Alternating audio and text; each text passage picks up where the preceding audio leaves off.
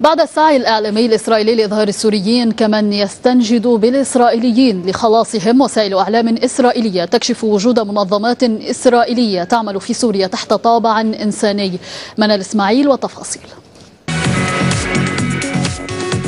تقرير للقناة العاشرة الإسرائيلية كشف عن وجود منظمة إسرائيلية تعمل في سوريا منذ ثلاث سنوات على تقديم المساعدات الإنسانية للاجئين سوريين تجمعوا داخل سوريا أو بالقرب من الحدود.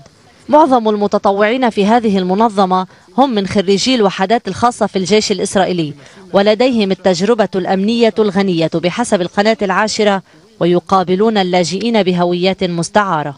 هذا حامد. ضابط إسرائيلي من وحدة المستعربين.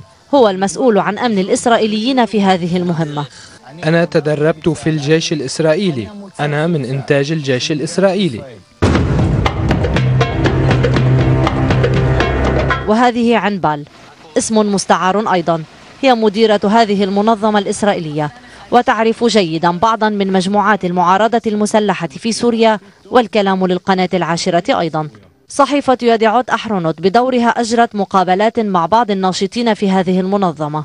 الصحيفة نقلت عن عنات وهي ناشطة في المنظمة قولها إن العنصر المشترك بين أعضاء هذه المنظمة هو أنهم واثقون من تفوق إسرائيل التام على جيرانها وأنهم في الوقت نفسه يستطيعون أن ينظروا إلى أعدائهم إذا اضطروا عبر مهداف البنادق. هذه المنظمة ليست الوحيدة التي تنشط داخل سوريا. موتي كهانة رجل أعمال إسرائيلي أمريكي يدعم منذ سنتين المسلحين في سوريا اقتصاديا بحسب القناة الثانية. وهو أيضا زار مخيمات اللاجئين في محيط سوريا وفي بعض الأماكن داخل سوريا.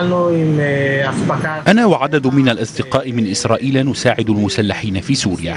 بدأنا مساعدتهم عبر تزويدهم بالقمح والحفاضات والبطانيات واليوم نساعدهم عبر قروض صغيرة. هذا السعي الإسرائيلي لاستمالة اللاجئين السوريين عبر منظمات تكتسي طابعا إنسانيا حينا وعبر مساعدات اقتصادية حينا آخر يطرح علامات استفهام حول الغايات الحقيقية من ورائه. ولا سيما أنه مصحوب بمخاطر عالية لا يخفي القيمون عليه وجودها.